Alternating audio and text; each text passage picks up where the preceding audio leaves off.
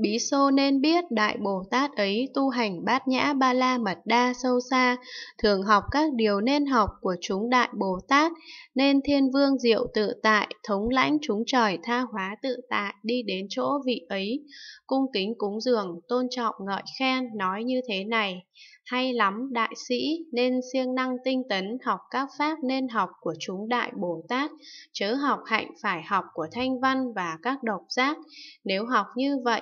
thì sẽ mau an tọa tòa Bồ Đề màu nhiệm, chóng chứng quả vị giác ngộ cao tột,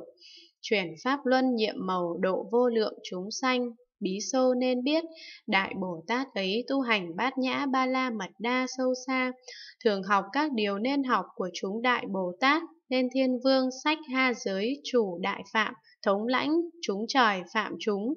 phạm phụ phạm hội, đi đến chỗ vị ấy cung kính cúng dường, tôn trọng ngợi khen, nói như thế này. Hay lắm đại sĩ, nên siêng năng tinh tấn học các pháp nên học của chúng đại Bồ Tát, chớ học hạnh phải học của thanh văn và các độc giác. Nếu học như vậy thì sẽ mau an tọa tòa bồ đề, mầu nhiệm, chóng chứng quả vị giác ngộ cao tột, chuyển pháp luân nhiệm màu độ vô lượng chúng sanh. Bí xô nên biết Đại Bồ Tát ấy tu hành bát nhã ba la mật đa sâu xa, thường học các điều nên học của chúng Đại Bồ Tát, nên trời cực quang tịnh, thống lãnh thiên chúng trời quang, trời thiểu quang, trời vô lượng quang đi đến chỗ vị ấy, cung kính cúng dường, tôn trọng ngợi khen, nói như thế này, hay lắm đại sĩ, nên siêng năng tinh tấn học các pháp nên học của chúng Đại Bồ Tát, chớ học hạnh phải học của Thanh Văn và các độc giác. Nếu học như vậy, thì sẽ mau an tọa tòa Bồ Đề màu nhiệm, chóng chứng quả vị giác ngộ cao tột, chuyển pháp luân nhiệm màu, độ vô lượng chúng sanh.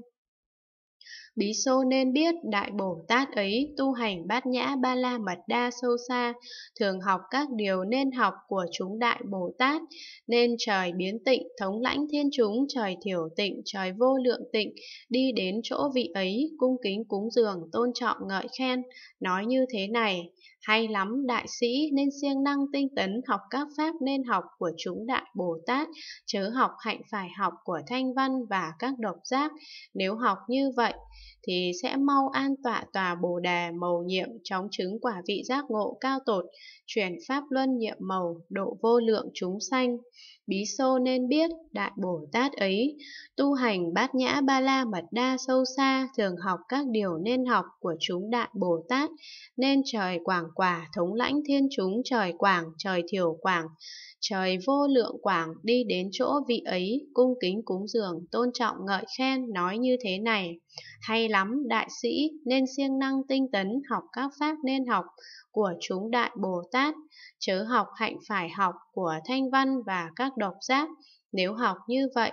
thì sẽ mau an tọa tòa Bồ Đề màu nhiệm, chóng chứng quả vị giác ngộ cao tột, chuyển pháp luân nhiệm màu, độ vô lượng chúng sanh.